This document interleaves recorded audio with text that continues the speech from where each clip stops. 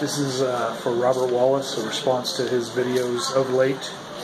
Um, I just realized that the perfect job for somebody who likes to have their name and their brand on every building is President of the United States of America. Because here I am at the VA hospital, and uh, yeah, I just realized his his face is on every government building, isn't it?